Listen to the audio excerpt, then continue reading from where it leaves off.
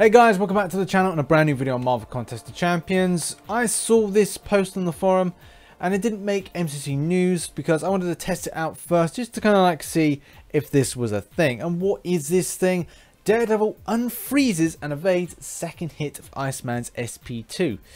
Now I thought this was a bit kind of uh, interesting, something to kind of like test out. Was this meant to be something that the developers put in for whatever reason that this was a kind of a counter? Yes it's a class disadvantage to put a skill up against a mutant. And yes, Iceman is pretty darn powerful. So kind of putting a Daredevil against an Iceman would be pretty darn unfortunate for the Daredevil.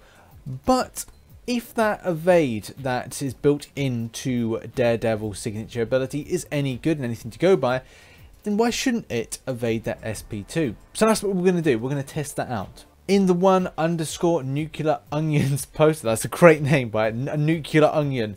My god, that's going to be some incredibly powerful and smelly farts.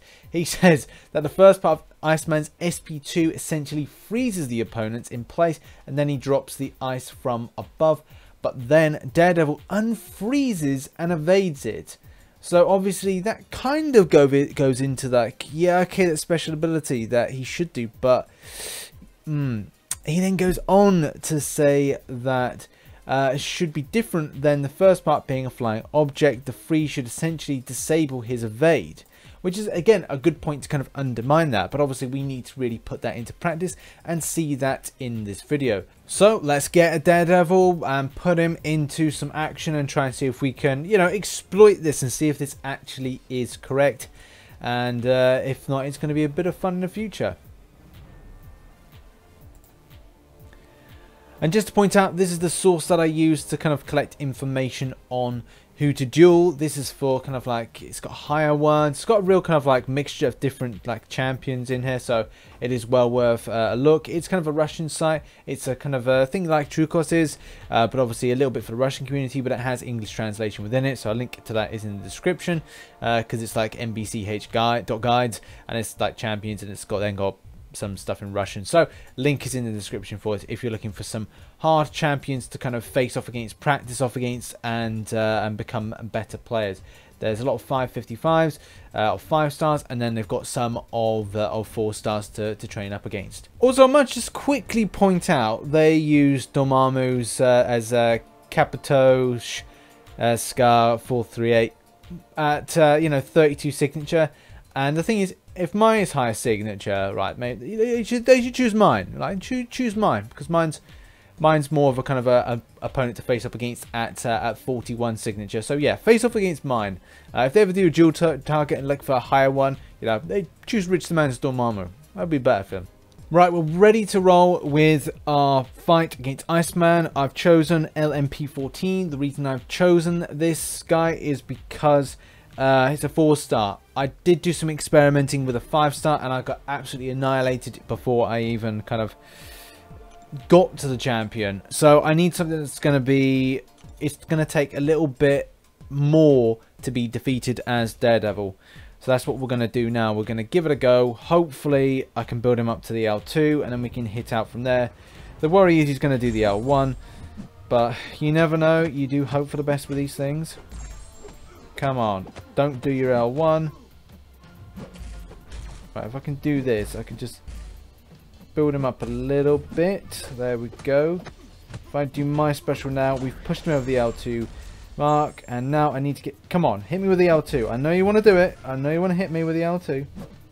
There we go. Frozen. And it evades out. It, it It's a correct. It That is absolutely correct on a forum, it seems.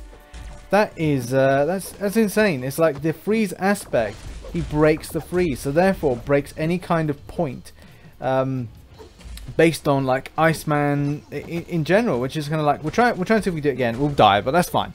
Right. The point has been proved there that the L2 that that concept is uh, is pretty weird that you're frozen solidly in ice and then he kind of then evades out the projectile. Like that ice wasn't so strong of Daredevil uh, which is kind of weird. So this is the argument now, like from a concept of source material wise, this is completely stupid. From a game application from the point of the signature ability of a Daredevil, yes, he should have that, but technically based on Iceman's L2, he should be in a state of being frozen. A lot of people will argue that he should do, and even goes far as to say that with the evades, like how bastardized should we make this that um, he should be able to kind of kind of come out of that ice as if it was nothing in particular. Does his force break the ice and then he evades out of it because he has that sensory kind of I, I really am just trying to like make this as a justified case because it is completely ridiculous to think of something cased in solid ice to then break out of it based on that. Obviously, it should break in any case based on him being kind of like hit by the projectile after the point of being frozen. But the same token, it could be argued that Iceman's L2 should be a little bit more stricter on things. Like, would would it be uh, a so bold to say that Iceman should then reduce down signature ability of certain champions, like saying, well, whilst uh, Magik is under the L2 moment, uh, if she had a limbo, then it wouldn't apply to her being uh, regenerating health based on damage taken. The same thing, obviously, would be Daredevil, that he should not be able to evade out there, nullifying his signature ability based on this. So there is a kind of new argument that springs to mind, like how much uh, change would they need to make for Iceman in order to this to be kind of correct? Um, to well, again, it's just like if you're meant to be frozen, you're frozen, and you're not able to kind of gain any benefit from that from signature ability. How strict could Kabam go on this with regards to a fix? I don't know, leave your thoughts in the comments below. Now, if you enjoyed this little video which I put together, then please give it some support and like, um, and obviously comment on the forum post because that's pretty cool as well to kind of give your feedback to other people and whether or not we should be making a big deal out of this uh, or just going, man, we can, just, you know, just tuck this underneath the rug like it's not a big deal. Uh, but still fun uh, for all the family, even when uh, you're not being frozen by by Iceman. So yeah, thanks very much for watching. I've been Rich Man. If you enjoyed this video, hit that like button, subscribe for more Marvel Contest of Champions based content. Notifications on, please. And uh, follow me on social media, links in the description below. And I shall catch you on the flip side. Bye-bye for now.